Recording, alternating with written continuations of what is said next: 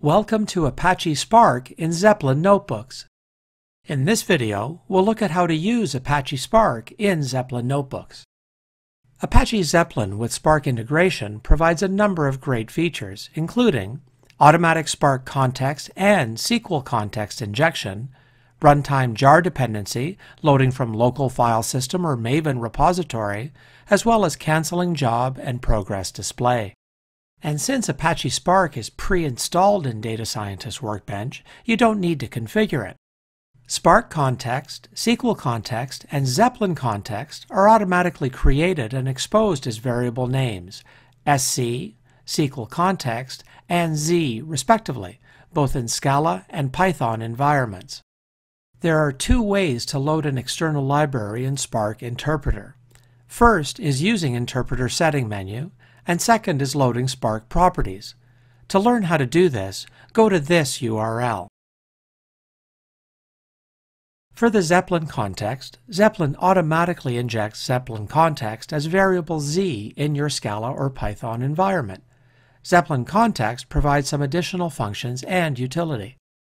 Zeppelin context extends map, and it's shared between Scala and Python environments. This means you can put in some object from Scala and read it from Python, and vice versa. Here are the commands for Scala, and these are the commands for Python. Zeppelin Context also provides functions for creating forms. In Scala and Python environments, you can create forms programmatically. In SQL environment, you can create forms in simple template. To learn more about dynamic forms, check out this URL. For the interpreter setting option, you can choose one of the following, shared, scoped, or isolated.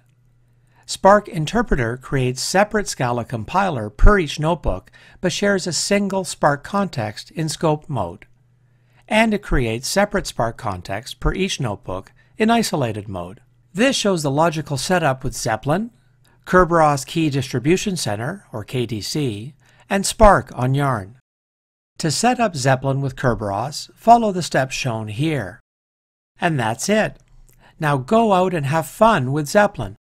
For further information about Apache Spark in Apache Zeppelin, go to this URL. We've come to the end of this video. We encourage you to practice on your own with Zeppelin notebooks.